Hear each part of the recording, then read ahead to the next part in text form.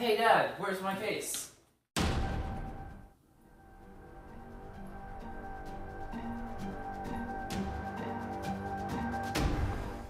Hey guys, in today's video, we're going to compare the 511 Tactical M4 Shorty case to the Taylor guitar case. In this video, I want to keep two definitions in mind. One is covert, and covert means to not openly display or reveal. And the second definition is camouflage, and camouflage means to disguise. So as we go through today's video, I want to keep those two definitions in mind as we look at these two cases. Recently, we took a road trip with a bunch of high school musicians and we went to Raleigh to look at a couple of large music stores. And while I like listening to the kids play and I like music, after a couple of hours in those stores, my mind started to wander. I stumbled across a tall stack of guitar cases that were on sale. I had already ordered a covert carry case for the M4 Shorty. And so I started looking at this case and thinking, and it seemed like, well, it, it looked like about the right size to conceal uh, an AR 15 rifle. They were normally $40, and these particular cases that I got were on sale for 30 bucks. And so I thought it would probably be worth giving it a try. And then if it did seem to work, I could use that uh, case in this video today. So basically what we're going to do in today's video is compare a guitar case, not made for a, a firearm at all, to a purpose-built covert carry case. Let's start by taking a close look at both of these cases. First, let's take a look at the 511 Tactical product. This is a very high quality product and it is purpose-built for firearms. Now, certainly if you are an operator, if you're a law enforcement officer or someone who has to carry a firearm for duty, you need to consider a, a device that's made specifically for carrying firearms and not uh, a device made for guitars. And I think this would be the kind of thing that you would have to look for in that situation. It has a large pouch in the front for carrying although this is kind of bulky. It's really made for carrying a, a go bag rather than just putting some magazines in here. I would say that they have upgraded this. This was about a $70, $75 purchase.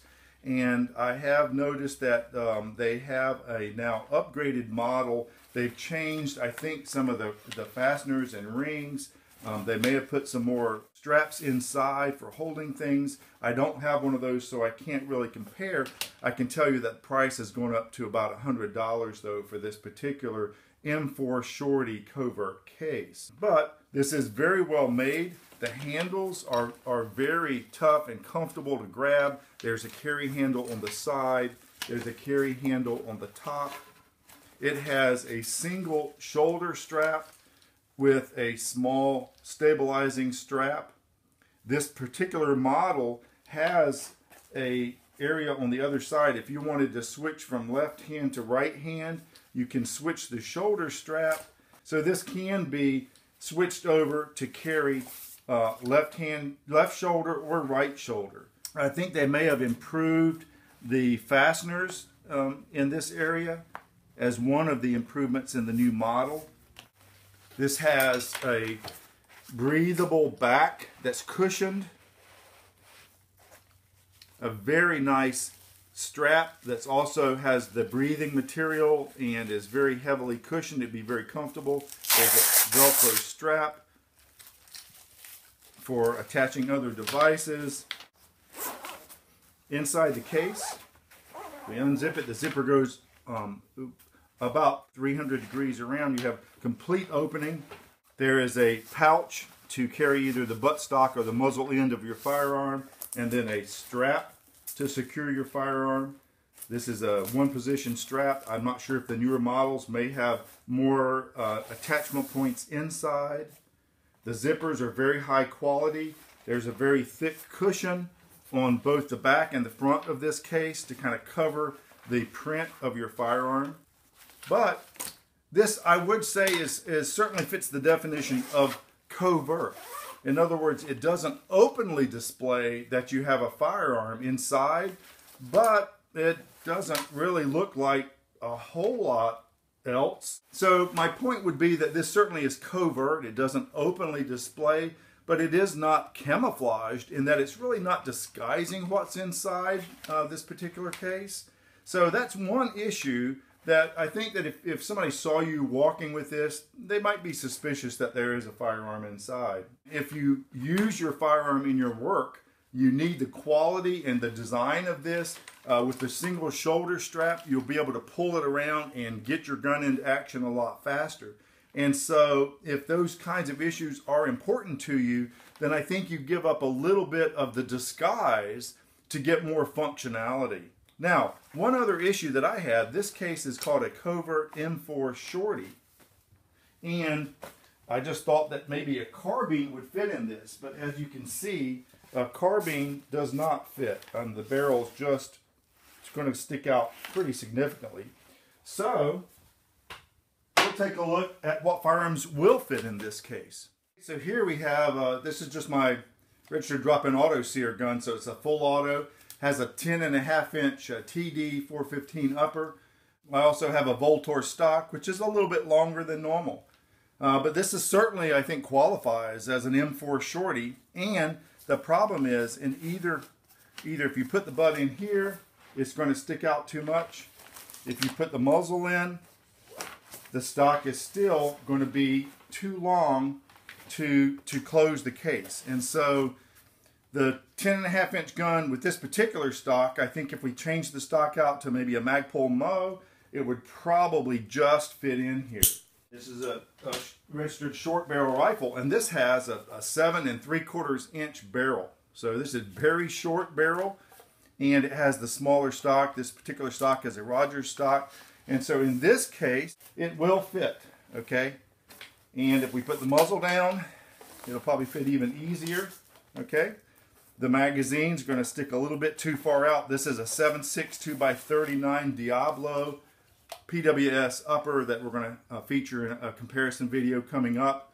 But um, but with the magazine in, it's it's not going to fit. So you would have to take the magazine out um, to fit it in this case. So I think one factor that's a, a downside to this case is just keep in mind how how short this is. Um,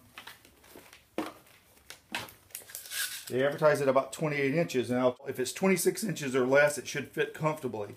Anything over that is going to start being a squeeze for this particular case.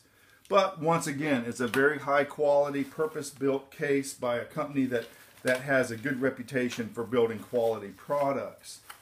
It is more expensive. And like I said, the newer versions are approaching around $100. Now, so let's take a look at this uh, case that I just happened to to look at when I was bored at the music shop with all the kids. Now, this is a guitar case, okay? It is not made for firearms. But when I looked at it, it just seemed like maybe a gun would fit in this really well. There are a couple of things that were very attractive. Number one, it's got fairly decent carry handles on the side. Now, it doesn't have any carry handles on the top, but it has a, a nice carry handle it also has a pouch that's relatively thin, and what I have found is that three 30 or 40 round magazines will fit right in the bottom of this, and because this pouch is relatively thin, it holds the magazines in place fairly well. So this is good. You can put three 30 or 40 round magazines in it. You can put three 30 round magazines in the bottom and a fourth one on the top across. So uh, it does do a fairly good job holding magazines. Now inside the case, it is cushioned both on the front and the back with a very thick cushion that should um, hide the print of your firearm. The zipper goes all the way around so you can get a complete uh, you know, kind of book opening of the, uh, of the case. There are, uh, there's a pretty thick cushioning all the way around. And one thing that I noticed, now this is a 16 inch AR carbine, okay? It's not the shorty and it fits really well in here. The bottom is very cushioned and very thick. There's actually a little extra um, material in the bottom. There's actually some bumpers on the bottom because that's where your guitar is going to be sitting a lot of times. Now, I thought about um, using some rigid foam and making an insert, and I may well do that in the future. But just as it is, if you put your, your M4 in here, and you can use maybe a 20 round magazine, and it would fit fine. And then when you close it up, it really fits perfectly.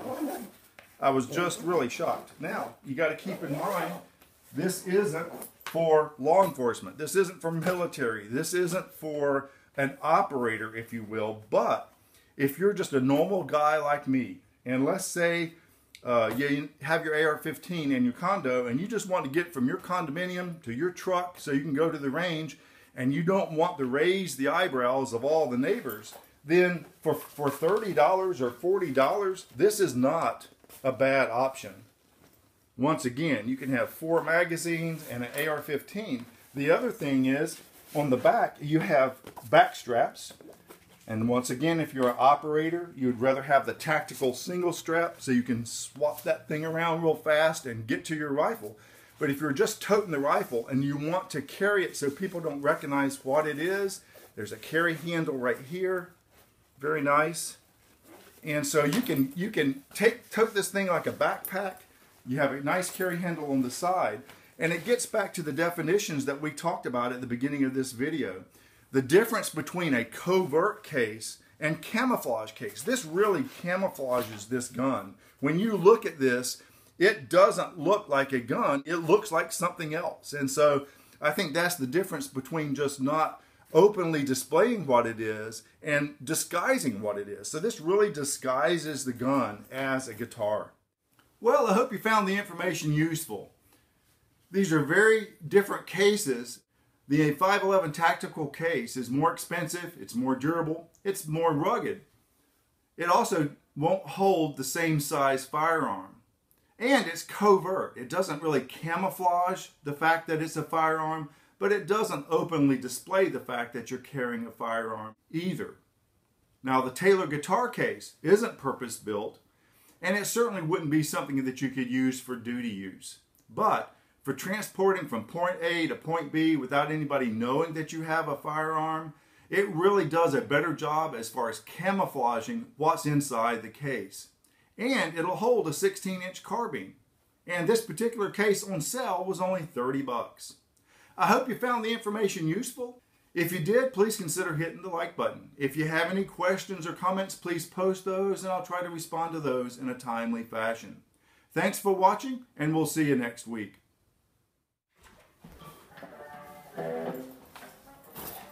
Noah, stop. Start over.